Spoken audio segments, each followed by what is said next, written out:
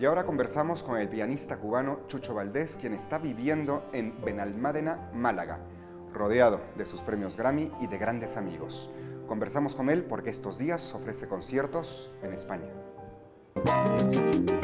Chucho Valdés es el gran renovador del afrojazz latino desde que fundara Iraquere como un alumno aventajado de su padre, el gran Bebo que lo enseñó. En su música hay esencias clásicas y populares.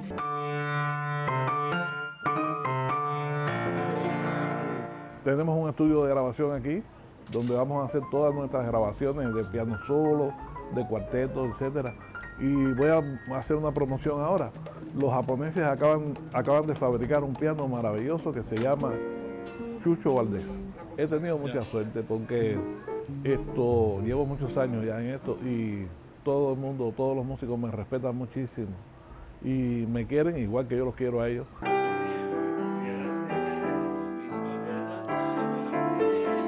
A mí me gusta la música, toda la música que sea buena me gusta. O sea, aunque me dedique a tocar jazz, jazz afrocubano, pero yo he tocado mucho funk y he tocado también rock.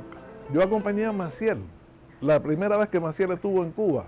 Yo acompañé a Silvio eh, con mi banda en Chile en 1990. Y también hice un disco con Pablo Milanés hace muy poco, que para mí es uno de los grandes cantantes también y compositores cubanos de todos los tiempos.